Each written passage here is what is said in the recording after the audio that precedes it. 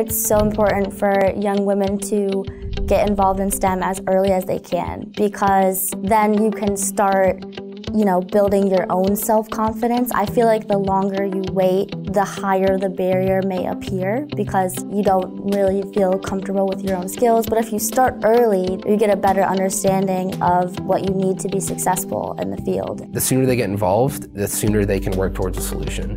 And becoming engaged in STEM and staying engaged in STEM is how younger generations can solve the problems that they'll be facing down the line. I think that it's very important for me to be able to ask those questions and bring my perspective into the field of view and update our design. So to be able to affect other people's day-to-day, -day, in my job it's sailors, but there's prosthetics, there's acoustics, there's so many different types of engineering, and most people don't think about how everything in our lives actually has to be engineered. We need people in STEM because everything we have is STEM.